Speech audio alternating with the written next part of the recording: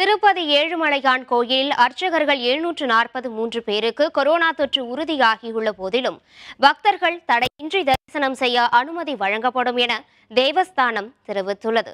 திருப்பதி ஏழுமலையான் கோயிலில் கடந்த இரண்டு மாத காலத்தில் அர்ச்சகர் மற்றும் ஊழியர் உட்பட எழுநூற்று நாற்பத்து மூன்று பேர் இருக்க கொரோனா தொற்று உறுதி செய்யப்பட்டுள்ளது.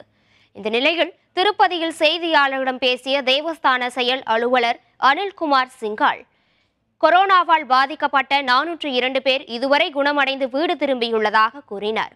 மேலும் முன்னூற்று முப்பத்தி எட்டு பேர் சிகிச்சை பெற்று வருவதாகவும் மூன்று பேர் உயிரிழந்ததாகவும் அனில்குமார் சிங்கால் தெரிவித்தார். கடந்த ஜூலை மாதத்தில் திருப்பதி ஏழுமலையான் கோயிலில் இரண்டு லட்சத்து முப்பத்து எட்டாயிரம் பக்தர்கள் தரிசனம் செய்ததாகவும் பக்தர்கள் வழங்கிய உண்டியல் காணிக்கையின் மதிப்பு பத்தொன்பது கோடியே அறுபத்து ஒன்பது லட்சம் என்றும் அவர் தெரிவித்தார். பக்தர்கள் எவ்வித தடையுமின்றி தரிசனத்திற்கு தொடர்ந்து அனுமதிக்கப்படுவார்கள் என்றும் அனில்குமார் சிங்கால் தெரிவித்தார்.